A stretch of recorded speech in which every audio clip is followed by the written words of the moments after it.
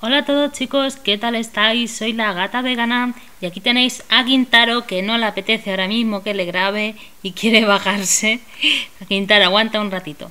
Bueno, el vídeo va sobre él, ¿vale? Eh, ya que me habéis dicho varios, bueno, bastantes de vosotros en los comentarios que os fuese comentando cómo iba Quintaro y todo eso, pues estoy haciendo este vídeo para comentaros y para explicaros pues, cómo va el, el pequeñajo, ¿no? La verdad es que tengo eh, buenas y malas noticias, pero sobre todo malas, así que eh, no sé, vamos, lo estáis viendo ahora mismo, Mira cómo se lava, qué guapo que es. Vamos, es que más guapo no podría ser este bicho. Bueno, a ver, eh, por partes. Eh, los problemas respiratorios, aquellos que tenía, que hacía ruidos y demás, ¿vale? Eso ya están, eh, ya está curado o prácticamente curado, ¿vale? no hay problema. Ya no me preocupa esos ruidos ni nada porque ha dejado de hacerlos. El otro problema que tenía era la boca que la boca es en lo que vamos mal. Eh, hace un ratito, bueno, acabamos de llegar del veterinario porque han tenido que volver a meterle al quirófano para eh, hacerle un limado de, muelas. ¿Os acordáis que os dije tiene maloclusión dental? Y, hace un mes y medio eh, se las limaron por primera vez y, ya se le estaba formando un puente odontológico y solo hacía un, mes y medio desde, desde la última vez. O sea que pensábamos que por lo menos, por lo menos iban a ser unos meses hasta que necesitase la siguiente vez, ¿no? Pero ya de, hace unas cinco días o así empecé a notar que, que tenía este problema otra vez, incluso se lo veía. Eh, en las muelas, como son los premolares, le veía que tenía otra vez los picos que se le forman encima de la lengua. Entonces, pues nada, pedí cita en el veterinario y me dieron para hoy para, para hacerlo. ¿Cuál es el problema? Que mm, al estar alimentándolo, por ejemplo, hace cinco, eh, sí, cuatro días o así, que lo, que lo estaba alimentando eh, con papillas, con, con jeringuilla, ¿no? Dado que él no comía o no comía apenas nada por el dolor, eh, entonces para asegurarme lo que estaba haciendo era eh, darle la comida eh, con jeringuilla, ¿vale?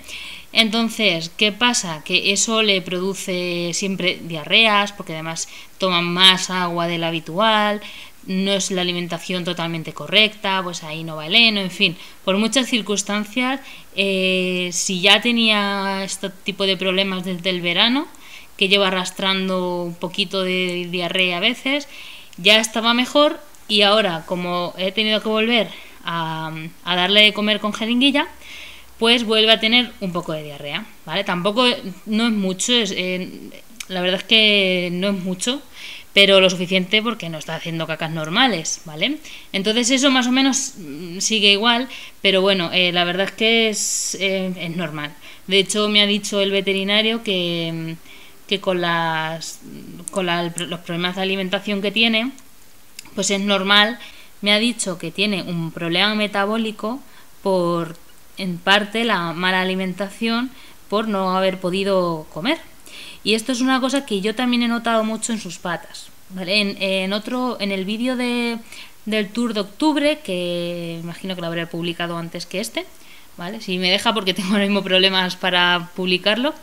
Os enseñaba en las patitas el problema que tiene, em, que tiene un poco, un poquito, ¿eh? no tiene apenas nada, tiene muy poquito, de pododermatitis ulcerativa, que ya os expliqué en un vídeo cuáles son las características, que eh, puede haber varias causas, pero su problema cuál es. Em, él, como le duele, no, no, puede comer de todo, come menos cantidad, eh, le bajan las, o sea, toma menos vitaminas, ¿vale? Esto produce eh, pododermatitis ulcerativa, ¿vale? Tal cual, o sea, es como un efecto secundario.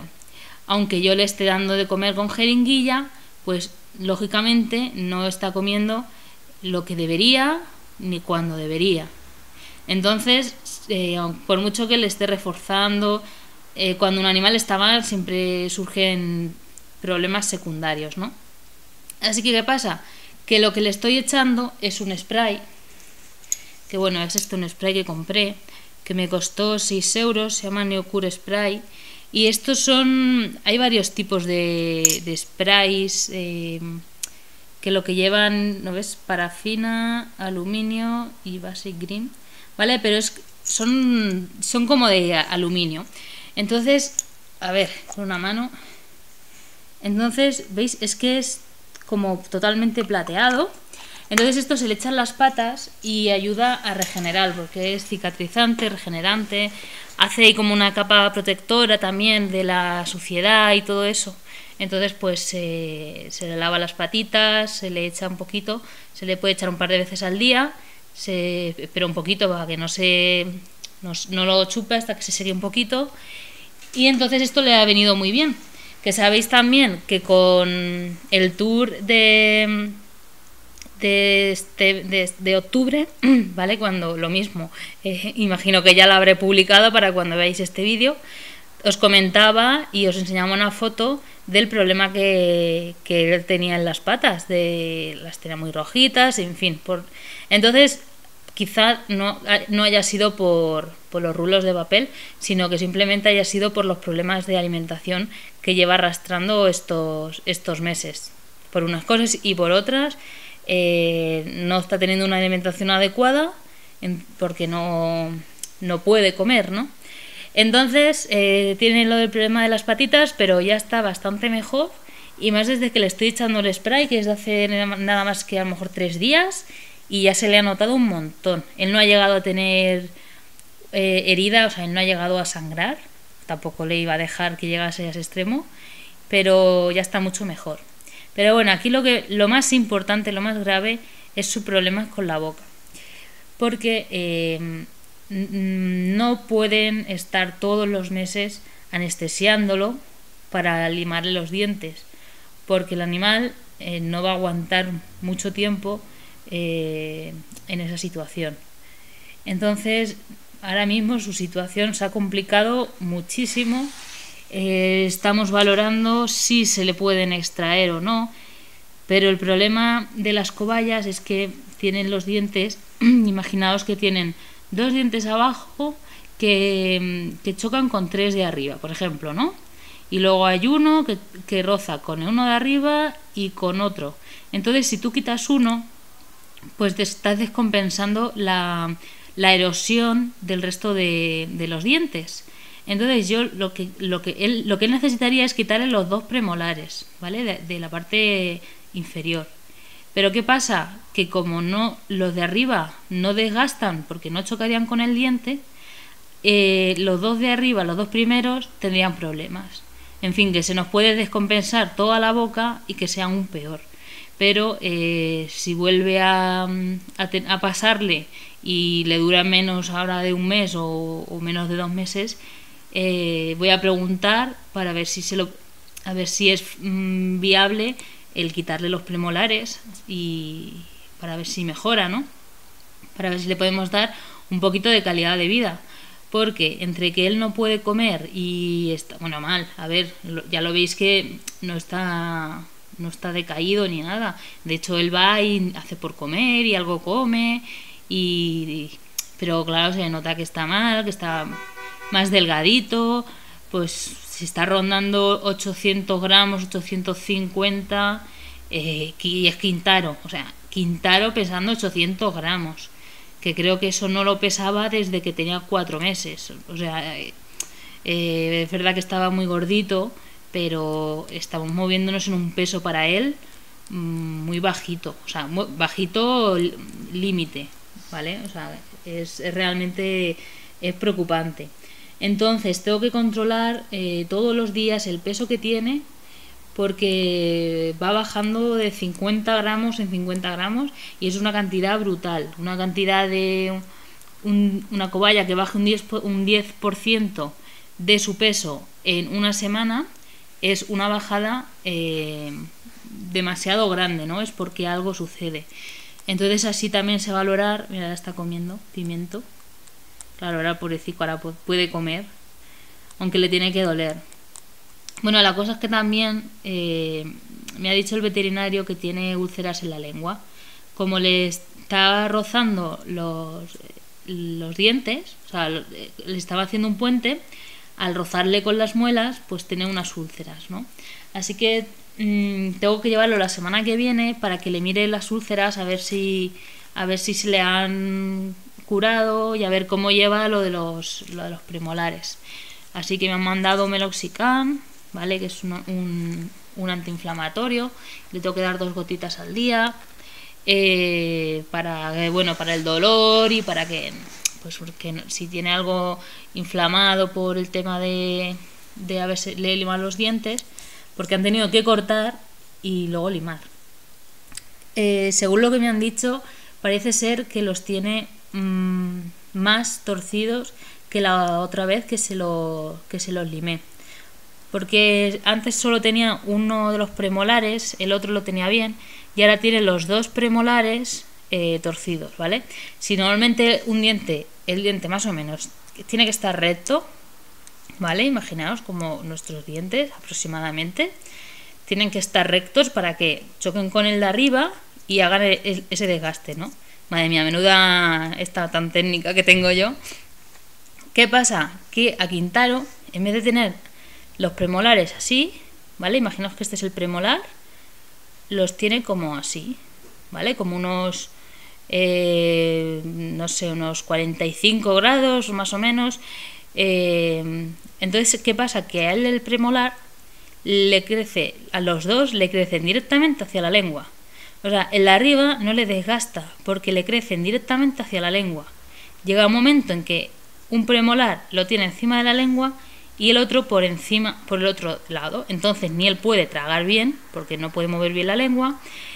Esos premolares chocan en, entre sí, ¿vale? También impidiendo que el animal pueda comer, esto causa dolor, en fin, ese es su problema, ¿vale? Que tiene dos premolares que se, por causas naturales se le han se le, se le han movido, ¿vale? O sea, es como que se le han rotado y entonces el diente en vez de crecer para arriba, crece hacia la lengua y parece ser que está más inclinado que la otra vez y que además son los dos premolares. la otra vez era solamente uno, el otro tenía un poquito de pico y de hecho la otra vez mm, también tenía eh, la mitad del premolar sí que lo, erosionaba con el diente de arriba y esta vez no. O sea, se ve que tenía todo el diente eh, totalmente curvado. Es decir, que ahí hay erosión cero. Entonces, por eso es por lo que en tan solo un mes y medio eh, le han vuelto a crecer y vuelve a tener el mismo problema. Me ha dado el veterinario para que lo viese, aunque no se va a ver mucho, estos son eh, un par de trocillos, porque claro, le ha quitado varios, un par de trocillos de diente que le ha, que le ha quitado, ¿vale? En, del mismo pico. Pero claro, como eso al, cortar salen varios trocillos, ¿vale? Pero para que veáis que, imaginaos esto eh, a continuación del diente encima de la lengua. Que parece una tontería, que lo estáis viendo que pero es que esto tampoco, no hay ninguna manera de, solucionar esto que no sea anestesiando al animal y que el veterinario eh, le, vamos, le corta. Hay algunos que lo hacen con unas tenazas y luego liman, otros que lo hacen como con una dremel o similar. Pero tiene que ser siempre con anestesia. No es como los incisivos que puede haber. Entonces, ¿qué pasa? Que me ha dicho que no que le estoy vamos que estamos acortando su vida exponiéndolo a tanta anestesia eh, una vez al mes que dura sobre una media horita más o menos es el tiempo que, que tardan en hacérselo y bueno después la verdad es que se le nota que está mejor porque come pero enseguida le crecen los, los dientes le crecen las muelas y tenemos el mismo problema así que lo bueno es que el resto de muelas me ha dicho que las tenía perfectamente. Tenía, bueno, le he dicho también que le mirase porque en este lateral de aquí abajo, como debajo de la muela, tiene como una, un bultito, pero duro así como y no muy grande. Y le he dicho que se lo mirase y me ha dicho que es que parece una si me ha hecho una miolitis, no estoy segura.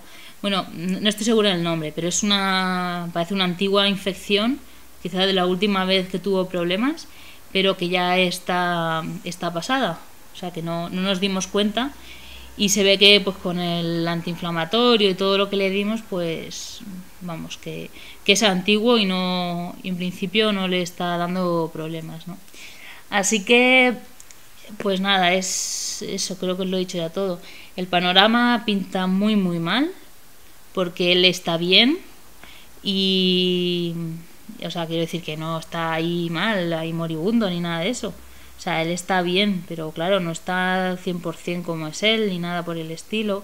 Pero bueno, que el animal está en condiciones, pero las malas noticias son las perspectivas de futuro que, que pueda tener. Pues ahora mismo sí se ha limado, eh, a lo mejor el mes que viene tengo que volver a ir, bueno, cada vez que voy son unos 60 euros o un poco más, ¿vale? Pero bueno, el dinero no es aquí lo importante, lo importante es el, el animal, ¿no? Algunas veces algunos me preguntáis cuánto cuesta este tipo de tratamientos y todo eso, pero es que mm, solo hay dos opciones, hacerlo o que el animal se muera, porque si no puede comer, el animal se muere. O sea, ya está. Si vuestra cobaya o vuestro conejo tiene maloclusión dental, es oír y que les limen las muelas o, oír para que lo tanasien, porque es que el animal se va a morir. Ya, ya está, no, no, hay no hay soluciones, porque las muelas no es como los incisivos que se desgastan al, al roer cosas, esos necesitan masticar, es distinto. Y en caso de cobayas es muy muy complicado solucionar los problemas de las muelas, dado que encima la cavidad bucal es muy muy pequeñita, tienen un espacio a lo mejor así para trabajar y ahí tienen que meter el instrumental y tienen que hacerlo todo. Entonces una extracción ya sería, es decir, quitarle alguna muela sería en caso ya bueno extremo, en caso de que se viese que, que no se, que no hay más remedio y luego eh, también teniendo en cuenta que es más peligroso eh, y que tampoco es 100% seguro que eso vaya a funcionar. Así que no sé, no sé qué deciros. Eh, la verdad es que ahora estoy más contenta al verle porque lo veo bien, pero cuando me han llamado y me han dicho que, que así no iba a tener mucho futuro, que no podía estar una vez al mes anestesiándolo, y es, lógico, ¿no? Pues la verdad es que me ha... Imaginados, ¿no? Que, que os digan eso. Así que nada, aquí lo veis y... Madre mía, Quintaro, cuántos disgustos. Con lo guapo es lo que te quiero yo. rechina los dientes. Se ve que nota ahí algo raro. Está rechinando los dientes. Pues nada, es que era eso, ya está. Solamente os quería enseñar cómo estaba. Que él está bien, o sea, sí, ahora mismo le han limado los dientes y eh, va, a poder comer, en estos días va a estar mejor y tal. O sea, que la operación ha salido bien, que no le ha pasado nada. Pero el planning de futuro que tenemos es malísimo porque dentro de, un mes o, o quizá menos, quién sabe, vamos a tener la misma historia. Eh, así que, no sé, ya os iré comentando a ver qué pasa, a ver si, si hay que operarlo, si hay que quitarle las muelas, si vamos a seguir así limándoselas cuando le haga falta. Pero es que me están diciendo, bueno, según lo que me ha dicho el veterinario, eh, ponerlo anestesia tanto, eh, le estoy acortando la vida, ¿no? Eh, yo qué sé. Es un poco complicado, no sé, no sé vosotros qué haríais, pero de momento es lo que se puede hacer, porque es que no, ni con cambios de alimentación, ni con nada, o sea, no hay medicación, no hay nada. Es como si, como si, no sé, como si te quedas cojo.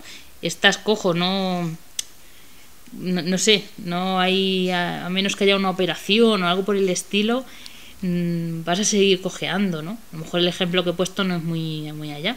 Pero, por ejemplo, en el tema de cobayas o de otro tipo de animales, si, por ejemplo, su problema estuviese en una pata, como en esa con la que se está rascando, pues si, por ejemplo, tienen que amputarle una pata, el animal puede vivir sin una pata y, de hecho, hay cobayas que viven sin dos patas O si fuese los ojos, que se queda ciego, o que le tienen que amputar, o sea, estirpar un ojo, vale, pues hace esa operación y ya está. Pero el problema de la boca es que no tiene mucha solución, porque si no pueden, eh, si hay que estar limándoselo tan a menudo que se va a quedar en la mesa de operaciones en cualquier intervención. Y si me dicen que te voy a llevarlo a, a volver a llevarlo a otra clínica de exóticos de, de Alicante, donde lo vieron la primera vez, para que estudien si es viable el, el quitarle las muelas y que no se le vaya a descompensar el resto de, de los dientes para que él tenga, pueda comer y tenga calidad de vida. O sea, es que esa es la, la cuestión. Porque si le falta una pata, él cojeará, pero andará. Pero si no puede comer, deja de comer y muere. Entonces, el panorama es, es horroroso. Pero es lo que hay. Y yo sé que, eh, claro, más de uno pues le dolerá oír esto no más que a mí, por supuesto, pero eh, no se puede hacer mucho más. Por eso yo siempre os insisto, eh, os hice un vídeo a propósito hablando sobre esta enfermedad que por suerte no había nunca había tenido cobayas con este problema. Eh, en cuanto detectéis el primer síntoma, lo que debéis de hacer es llevarlo al veterinario y que lo antes posible mm, se lo lime, porque hay algunas, algunas cobayas o conejos que, por ejemplo, el diente en vez de hacia adentro, crece hacia afuera y le traspasa la piel. ¿Vale? Y hay gente que hasta que no mueren o hasta que no están reventados no hacen nada. Entonces, no, jamás dejéis a ese extremo. Jamás. Fíjate con que es Quintaro y yo lo llevaba cuando él simplemente hacía muescas, así muescas en la boca, así como que comía raro y que bajaba peso ya la gente que lo ve, que le atraviesa el diente o que, o que los incisivos, en conejos pasa mucho, los incisivos de abajo se le clavan arriba y los de arriba abajo. Y la gente no lo lleva a un veterinario. Entonces, para prevenir esto, ya como os he dicho muchas veces, que coman mucho heno, sobre todo, el masticar el heno. Pero al ser un, un problema que puede surgir en cualquier momento, a cualquier edad, y por sin causa aparente, o sea, es un, un desplazamiento de una muela que es que no que no es, no es por un golpe ni es por una, una mala alimentación, si es que sale así de repente, le toca y ya está. Pues entonces lo único que podéis hacer es prevenirlo eh, que coman muchísimo heno, que utilicen muchísimo sus, dientes para que desgasten los dientes, que le deis buena alimentación y que a cualquier problema enseguida lo llevéis al veterinario. Porque si lo dejáis pasar, puede ser que en vez de tener el problema en una muela, las tenga en varias muelas y en las encías o, o la lengua o lo que sea, ¿no? Así que voy a echarle ahora el spray para que veáis cómo, cómo se le queda con el spray, ¿vale? Se lo he hecho, pero con una mano. con una mano no voy a poder, así que ahora mismo os enseño cómo queda. Vale, pues ahí más o menos podéis ver que tal tiene las patitas plateadas, ¿vale? Aún no se le ha secado, pero eso es lo que hace este tipo de spray. Hay varias marcas, ¿eh? No, en principio suelen ser así para todo tipo de animales y como ya os he dicho es cicatrizante y regenerante y demás. Entonces bueno, voy a dejarlo. Normalmente os vais a pringar vosotros también de spray y todo lo que hay alrededor. Pero bueno, eso sale, ¿no ves? Se, le, se pringa él también. Pero bueno, mientras esté en tratamiento, la verdad es que es normal que vayas a tener una cobaya gris. Así que pues nada chicos, eh, esto es todo y no han sido muy buenas noticias, pero bueno, aquí lo tenemos y sobre todo hay que luchar por él y disfrutar mucho de él, todo lo posible, para que para que esté feliz el tiempo que, que esté con nosotros. Así que bueno, nos vemos en el próximo vídeo, ¿vale? Hasta luego.